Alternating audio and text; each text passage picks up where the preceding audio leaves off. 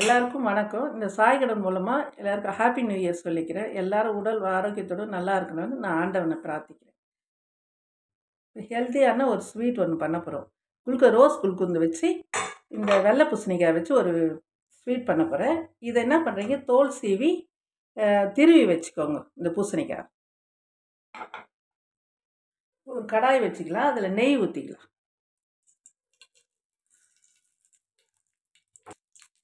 பூசணிக்காய் போட்டுக்கலாம்.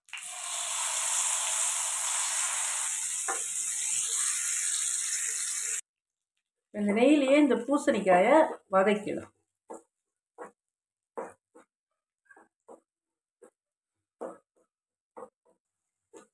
நல்லா இந்த நெய்யிலேயே நல்லா வதங்கணும். நல்லா சுருங்கிடும். அந்த அளவுக்கு வதக்கணும். நல்லா.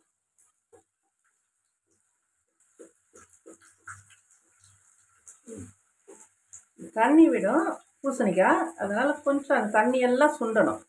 அது அது வரைக்கும் வதக்குங்க. இது ஒரு ஹெல்த்தியான ஸ்வீட்டு பூசணிக்காய் உடம்பு வந்து இலைக்கும் உடம்புக்கு ரொம்ப நல்லது.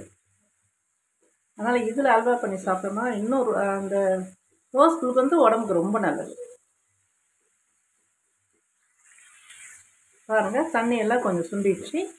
இப்போ கொஞ்சம் பால் ஊற்றிக்கலாம் கால் கிளாஸ் அளவு பால் ஊற்றி இது இதோட மிக்ஸ் பண்ணி இப்போ இதுவும் நல்லா சுண்டடும் இதுலேயே வேகும் பால்லையே வந்து அந்த பூசணிக்காய். என்ன வே இதுலேயே நெய்லேயே வதக்கிறப்ப வெந்துடும் பால் ஊற்றி கொஞ்சம் வேகவும் இப்போ ஒரு அஞ்சு ஸ்பூன் சர்க்கரை போட்டுக்கலாம். ஒரு ஸ்பூன் ரெண்டு ஸ்பூன்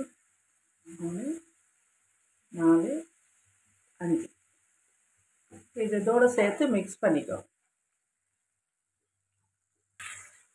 நல்லா கலரி விட்டுகிட்டே இருங்க. கொஞ்சம் கெட்டி ஆகணும். அது வரைக்கும் கலர். இந்த அளவு ஆகிட்டோடனே கோவா. கோவா இந்த அளவு போட்டுக்கோங்க. கொஞ்சம் போட்டுக்கோங்க. போதும். நிறைய தேவை இதுவும் இதோட சேர்த்து மிக்ஸ் பண்ணிக்கோங்க. கோவா போட்டிங்கன்னா நான் டேஸ்ட் நல்லாயிருக்கும் அந்த கெட்டித்தன்மை நல்லா வரும். கொஞ்சம் ஏலக்காய் தூள் போட்டுக்கலாம். எல்லாம் ஒன்றா மிக்ஸ் பண்ணி நல்லா திறந்து வரணும். எல்லாம் ஒன்றாகி வரணும். அது வரையும் இது பண்ணி கிளறி விட்டுக்கிட்டே இருக்கணும். இந்த அளவுக்கு பதம் வந்த உடனே இது ரோஸ் குல்கந்து போடலாம். ஒரு அஞ்சு ஸ்பூன் இருக்கும் உங்கள் ரோஸ் குல்கந்து போட்டு கைவிடாத கிண்டிகிட்டே இருக்கு. நல்லா ஒன்றா மிக்ஸ் பண்ணிக்கோங்க. கடைசியில் தான் போடணும் குல்கந்த்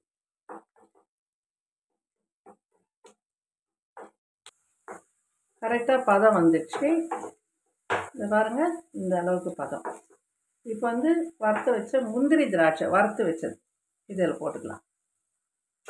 போட்டு இதோடு சேர்த்து மிக்ஸ் பண்ணிக்கலாம். அவ்வளோதான் ரோஸ் குல்கந்து அல்வா. சூப்பராக இருக்கும். உடம்புக்கும் ரொம்ப நல்லது. செஞ்சு சாப்பிட்டு பாருங்கள்